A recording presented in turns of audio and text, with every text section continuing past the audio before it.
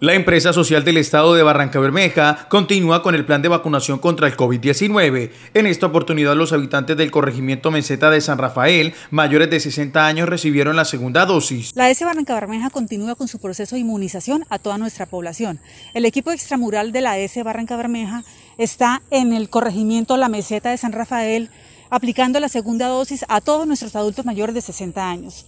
Es fundamental que las personas eh, hagan este proceso de vacunación, asistan a su segunda dosis para así tener la protección de todos los que están a nuestro alrededor.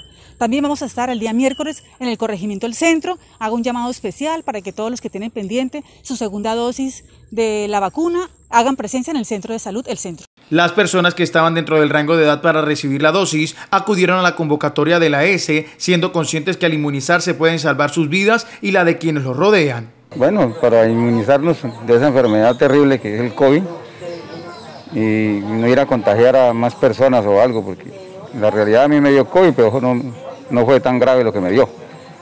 Pero en realidad es para proteger a las demás personas y todas esas cosas porque se, se transmite muy fácil.